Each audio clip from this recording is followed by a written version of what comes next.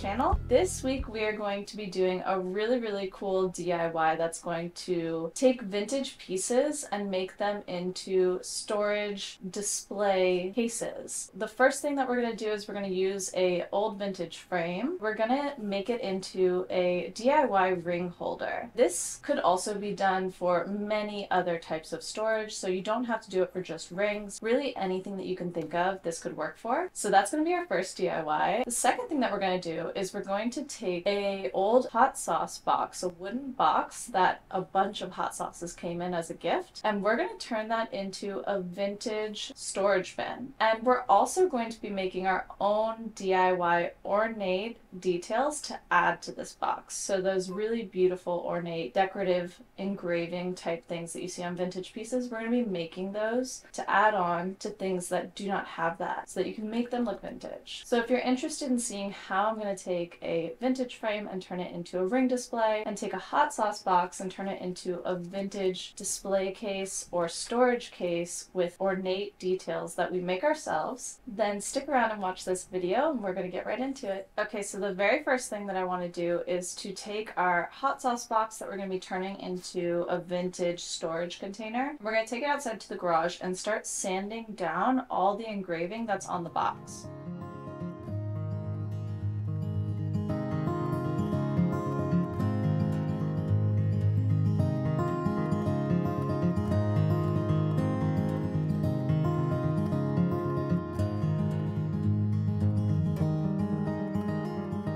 So now that I have our box sanded down pretty well, I don't really feel much texture. There's a little bit of texture on the back here, but I'm thinking that when we paint it, it's gonna mask most of that. And the back is also going to be the part of the box that you never see, so it's not as big of a deal. On the sides and the front, I don't feel any texture, so I think it'll be all good to paint. What I wanna do is tape off this inside area where it's plasticky and paint the entire box to get it ready to do our decorative molding. And then once we have it painted and the molding on, and this box will be ready to go. I'm gonna be using a paint that I used in our main bathroom. I have a vanity in there that I refinished maybe like two years ago now. And I used medium dark green paint on the vanity and did a faux wood finish on the top. So we're gonna use the green paint on here. And it's a paint that I already have on hand. So we're repurposing something that we have extra of for a new project. And then the other thing that I am considering with this particular box is when I was sanding, there was like two spots right here that got nicked a little bit with the sander, so they have a little bit of a mark. I'm thinking that we could either swap this plastic out for something like it. The other option is I got a faux glass ribbing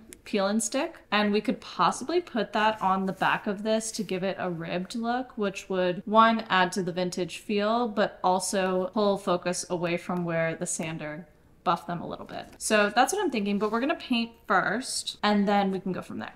I'm gonna tape all this off and then we can mix up the paint and get started.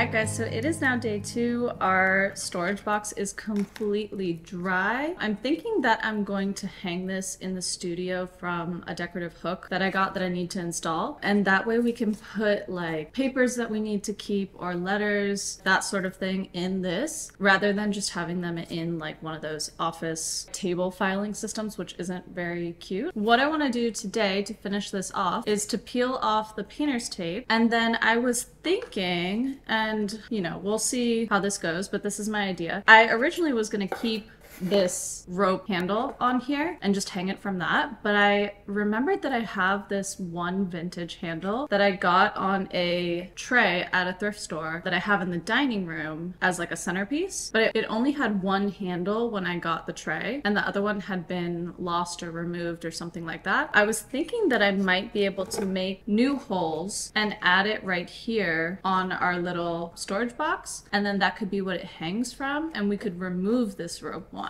We're gonna start by attaching this handle. And I have, it comes with like little, little tiny screws. And I'm gonna try and just hand screw them in. I don't think that I need the drill, but we'll see how hard it is. Okay, cool. So now we just need to do the other one and then we can cut this off and start working on our decorative details.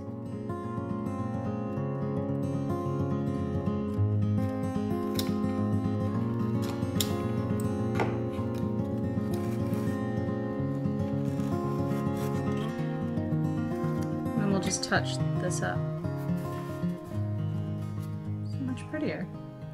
Okay, so we got our handle on. I think it looks really cute. So I'm hoping that the ornate details will cover this well because I really love the look of this handle and I want to keep it on there. So we're gonna figure out a way to make that work. We're gonna patch up the paint where the rope was in just a little bit. But before we do that, I have now removed the tape from the front piece. I wanna go ahead and add some of the window cling that I have to the back of this. And it's gonna give it like a, I forget what the name of it's called, but like that ribbed kind of like wavy glass effect that is on a lot of furniture now. It's also a very vintage look. A lot of furniture used to have that kind of wavy, distorted glass look, and that's because a lot of it was hand blown glass, so you would get that kind of look from it. So I want to add that on. I think it's going to add to the look. It's also going to hide the papers that we're keeping inside so you don't just see a box full of papers and make it look more decorative. All around, I think that's a win. And I actually already had this window window cling because I have a project that I,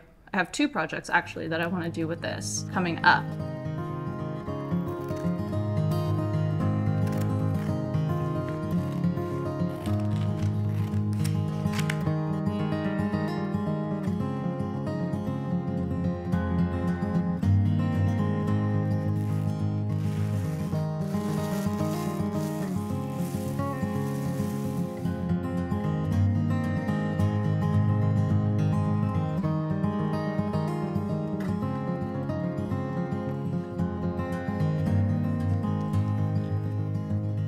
Then we just have to smooth out any bumps.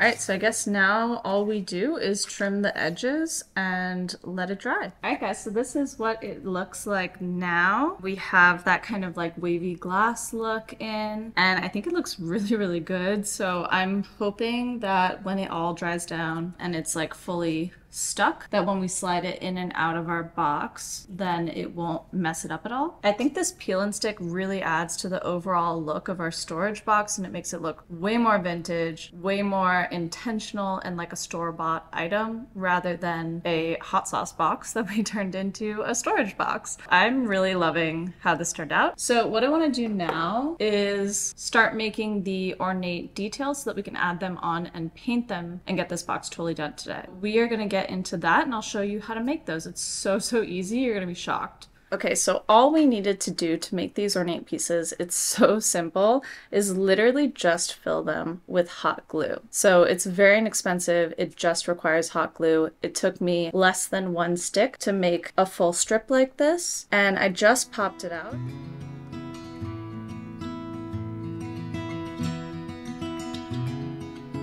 So I know it's a little bit hard to tell the amount of detail that's in this from up close shot just because it's all kind of clear right now from the hot glue. But trust me when I say that every single detail that you see in this piece right here, you can see in the hot glue. So when we get this applied and painted, you're going to be able to tell how detailed it actually is. In the meantime, we are going to pop out our other strip and we're going to make a few more like this as well well as some of our more ornate pieces. These are in here drying and ready to pop out. Once we have them all made, we can take them, glue them to our box, and paint them, and it'll be entirely done. Super simple. This literally took me like a minute to do, and we have these really beautiful ornate pieces. Honestly, this is my first time trying this, and I cannot believe how easy this is and I think it's going to look really, really good on our box. We're going to keep making some more and then I'll meet back with you guys when we add them to our box. Okay, so we have our box all ready to go and it slides in really nicely with the peel and stick fluted glass look to it. It's all going really well so far and I have all of our little ornate details made with the hot glue and ready to go. So we're going to put the details where we want them on the box and apply them with hot glue and then we can go in and and paint them. I'm going to do a base coat in this green color, but you could do any color that you wanted or skip that step entirely. And then I'm personally going to make them look gold so that they look like ornate details by using some rub and buff over the paint once it dries. So I want to start applying these and I have a general idea of where I want them to go. I'm going to put these larger ones on the corners of the front right here. And then I want to take the smaller ones and put them in this middle piece. For the sides, I'm going to use these thicker decorative trim pieces on the long sides and then the thinner ones on the top and the bottom. That's what I'm thinking. I'm going to have to cut these down to fit. We're going to start by doing the front because that's going to be the most straightforward. So it's super simple. You're literally just going to put hot glue on the back and stick it where you want it to go, just like you would with any other thing that you were hot gluing. This one's going to go up in this corner. So I'm going to just put some glue on the back. The hardest part's going to be not burning yourself. Alright, so now that I have the glue, and then we just plop it down and press it on. So that one's all done, and now we can do the next one.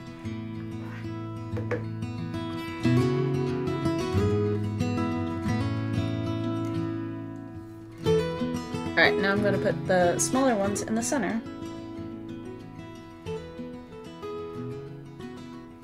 Okay, so the next thing I want to do is to take these larger pieces of trim and add them along the side right over here. So we're probably going to have to cut it just a little bit on the end here.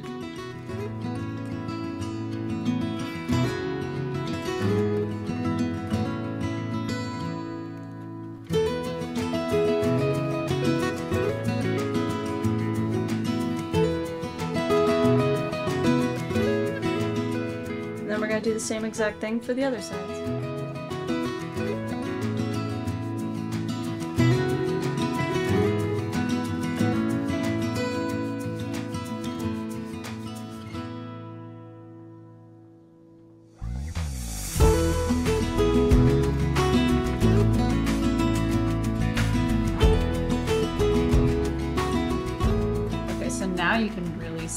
All of the detail that came out from the hot glue molds. And I'm actually really liking how it looks like monochromatic like this. I might just add like a slight amount of gold, but leave it mostly monochromatic because I think this is really pretty. So I want you guys to let me know in the comments if you like the gold or if you prefer this monochromatic look because if I do the gold and we like it like this, I could always paint over the gold to bring it back to this. So definitely let me know what you think.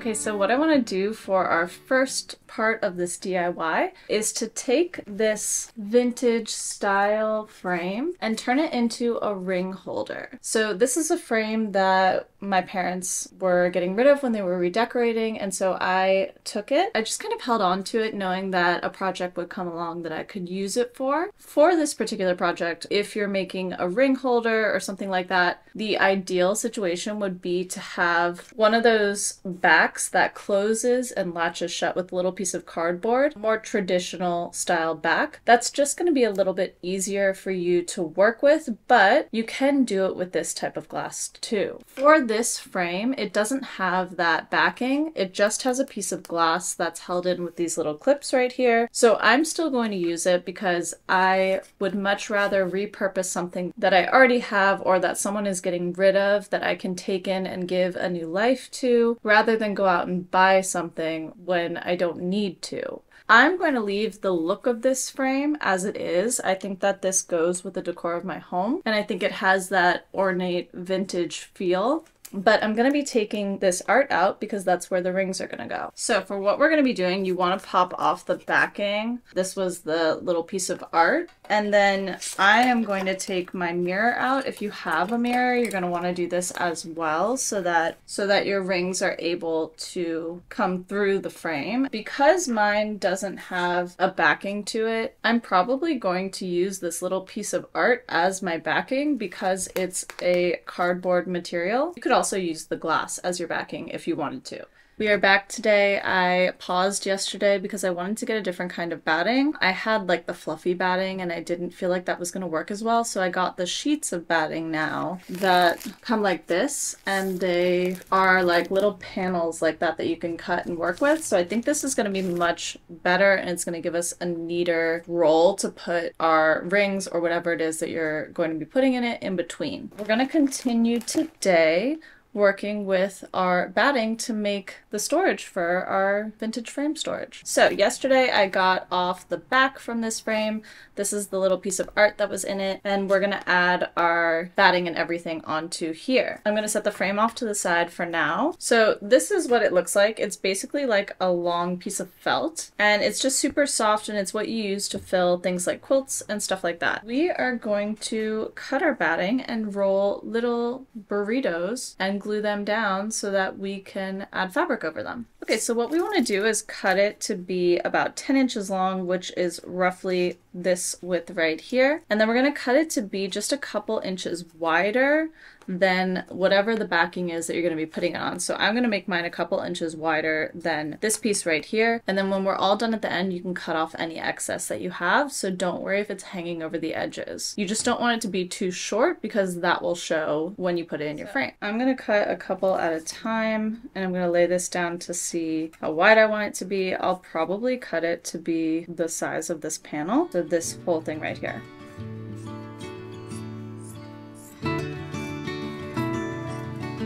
So that gave me one, two, three, four pieces, and I think that's going to be plenty for the size that I'm working with with the frame. If you have a bigger frame, you could do more rolls than I'm doing. This is all the batting that I have left over. This container of batting cost me $12 on Amazon, and I still have a ton left over. So if you wanted to make something else, like a pillow or a blanket, more decorative storage frames or things like that, then you would definitely have more than enough to do another project, probably a few more projects with this. Now what we are going to do is take one piece of our batting at a time, and then the rest we can just set off to the side. And what you want to do is start to roll your batting and you're literally just going to roll it. You're not going to put any glue until you get to the very end right here. And then we're going to put a line of glue to hold it in place. But you don't want to put glue on every single roll because then you're going to end up with it feeling crunchy from the dried glue and you want it to be soft and fluffy so that it can hold your jewelry in between and look fluffy and expensive. So now that we have that glued down, we're just going to glue it onto our backing. And for this, you can add add a bit more glue so that it's nice and secure.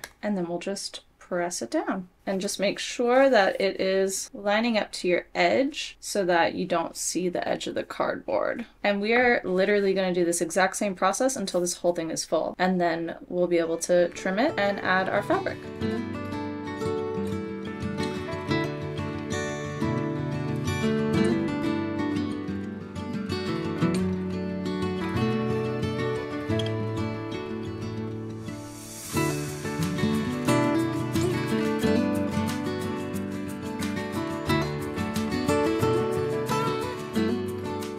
So now what we want to do, now that we have them all on here, is to start cutting all this excess off. So we're going to pick up right here, and we're going to cut right along our frame.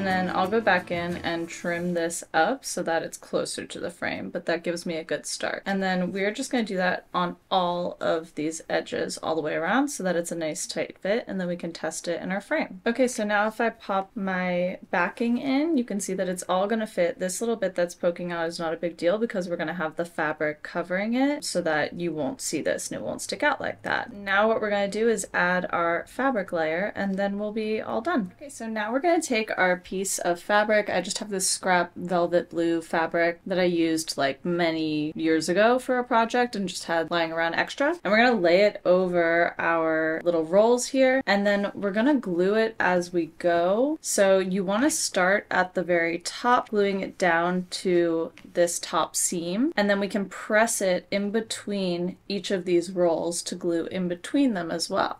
Okay, so we're gonna start at the top up here, gluing our fabric down to the seam. Just literally lay your glue, and then we can take our fabric and super carefully lay it onto your edge. And then once you get that down, you can kind of touch up the edges so that it's a nice clean seal.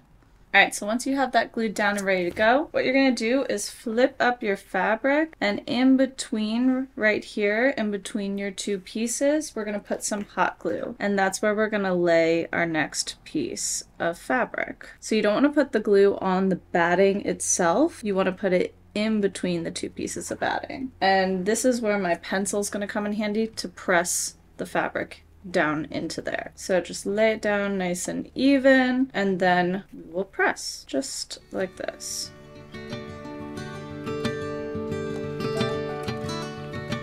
Alright, so now we have a pretty good line in there with glue holding it down. And so we're going to go and do the same exact thing for all of our rolls and then attach it on the end. And then we can trim it up and we will be all done.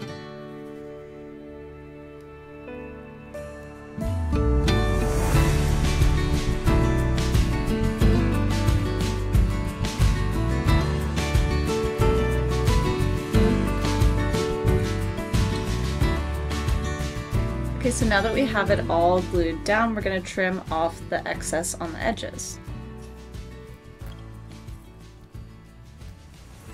So if you're like me and when you cut you have these little exposed edges, that's totally fine. You will not see these at all once they're in the frame. So that's actually going to be good because it's going to keep the excess down on your storage rolls so that you can put it in the frame because if you have too much going on on the sides, it's not going to fit anymore. So you want to make sure that you cut as much down as you can. Okay, so now that we have everything cut down, I'm gonna clear this off and then we can test it to see if it fits into our frame. And if we need to trim a little bit more of the excess, we can do that. If it fits, then we're done.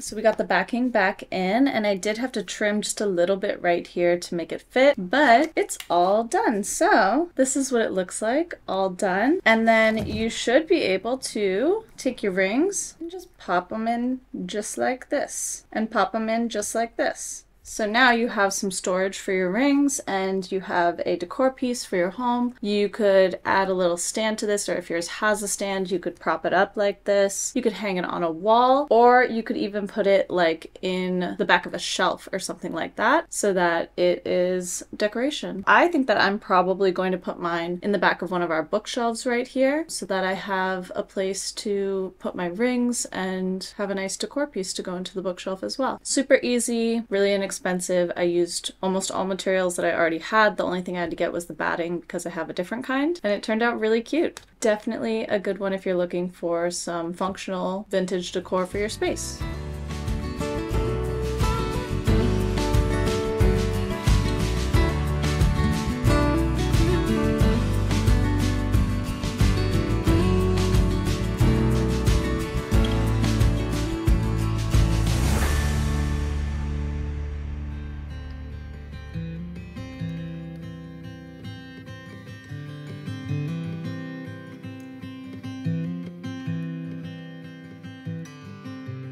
Alright guys, well that wraps up our video for this week. I hope that you enjoyed it and that you give these things a try yourself. I hope you took away some tips and tricks to making everyday items or simple modern pieces more vintage and more ornate and making them fit in with your decor of your home and your space so that you can kind of upcycle those pieces or add details to something that you already have rather than having to buy something entirely new. So if you enjoyed this video, don't forget to like and subscribe so that you can see more of my videos. I put out new videos every single Sunday. We do tons of different things on the channel, lots of DIYs like this, a lot of thrift flips, home decor, styling, and I also do a lot of room renovations and makeovers. So if that sounds like your thing and you want to join our community, then don't forget to subscribe so that you can see everything that I put out and be a part of our DIY community. Also, don't forget if you're interested in seeing a video that's kind of a Q&A or get to know me style video, then make sure to leave a question in the comment box below and I will collect any questions that come in so that we can do a video like that and start to get to know each other just a little bit better. So thank you so much for watching and I'll see you guys next Sunday.